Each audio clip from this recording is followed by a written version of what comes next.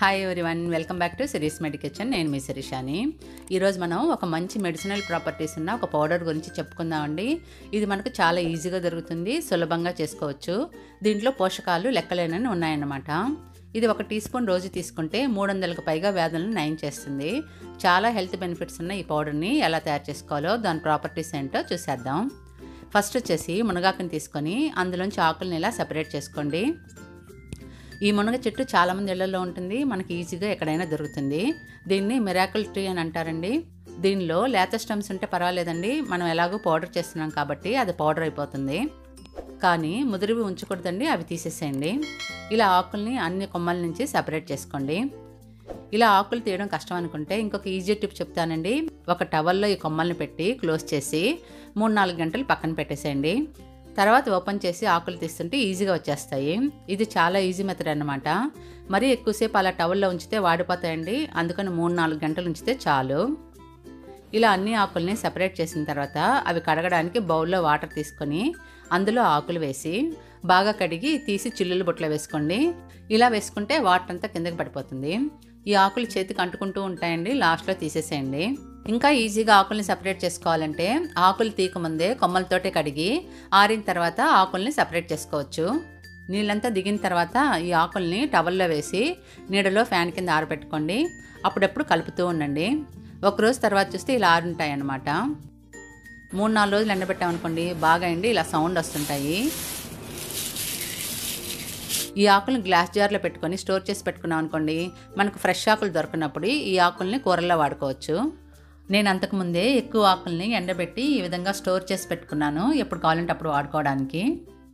తర్వాత ఈ ఆకుల్ని మిక్సీ జార్లో వేసి పౌడర్లా చేసుకొని బౌల్లో వేసుకోండి.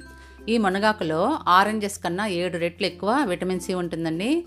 పాల కన్నా పదిహేడు రెట్లు ఎక్కువ కాల్షియం. క్యారెట్లో కన్నా పది రెట్లు ఎక్కువ విటమిన్ ఏ. పెరుగులో కన్నా తొమ్మిది రెట్లు ఎక్కువ ప్రోటీన్ ఉంటుంది. అరటిపండులో కన్నా పదిహేను రెట్లు ఎక్కువ పొటాషియం పాలకూరలో కన్నా ఇరవై ఐదు రెట్లు ఐరన్ ఈ మునగాకులో ఉంటుందండి. ఈ మొక్కలు ఎవరైనా ఈజీగా పెంచుకోవచ్చు. ఒక కొమ్మ నాటితే చాలండి ఈజీగా బతుకుతుంది. ఈ మునగాకులు వచ్చేసి విటమిన్స్ మినరల్స్ యాంటీ ఆక్సిడెంట్స్ చాలా ఎక్కువగా ఉంటాయి. Vitamin A B six B twelve vitamin C proteins magnesium calcium ఉంటాయండి. ఇవి బ్లడ్ షుగర్ లెవెల్స్ని కొలెస్ట్రాల్ని బీపీని కంట్రోల్ చేస్తుంది.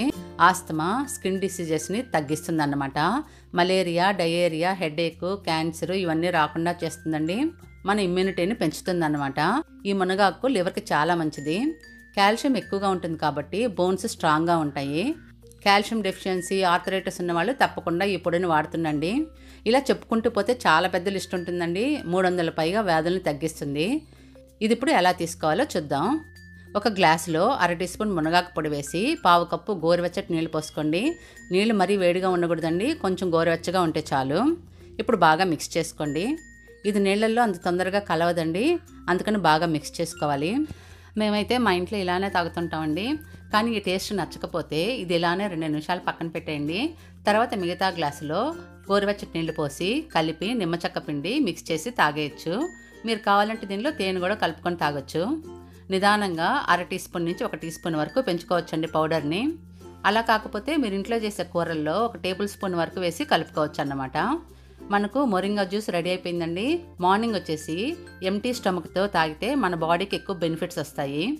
ఈ పౌడర్ని ప్లాస్టిక్ బాటిల్లో కాకుండా గ్లాస్ బాటిల్స్లో స్టోర్ చేసి పెట్టుకోండి. ఎక్కువ రోజులు ఫ్రెష్గా ఉంటుంది.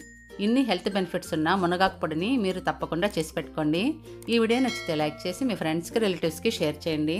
మరిన్ని కొత్త యూస్ఫుల్ వీడియోస్ కోసం సిరీస్ మెడికేషన్ ఛానల్ని సబ్స్క్రైబ్ చేసుకోండి. Thank you for watching.